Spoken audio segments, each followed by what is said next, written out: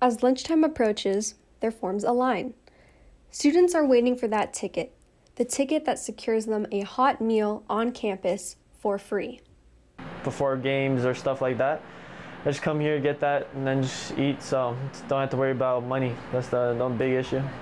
It's an issue for many students, an issue that COC's Basic Needs Center, or BanC, is trying to eradicate. Basic Needs Center is a program that's set up to remove all of the barriers that are impacting a student's ability to either stay in school or come to school. Since I'm a person that commutes from Antelope Valley, kind of need services out here to help me. What began as a food pantry on campus has grown to provide students with free resources, from food and gas money to toiletries and clothing. They, they have clothes for us when we need, and um, yeah, food. Food is the biggest thing. I know that a lot of us uh, athletes uh, eat, eat here in the cafeteria.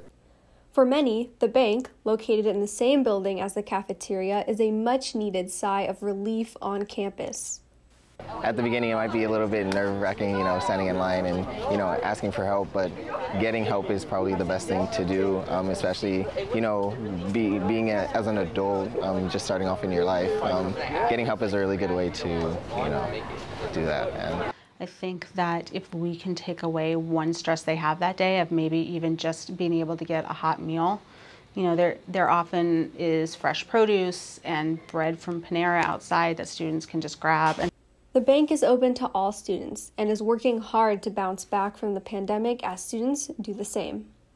Now, especially because of COVID, there's a lot of other barriers, and so students really need the help and the motivation to come back to school. For Canyons News, I'm Linsey Towles.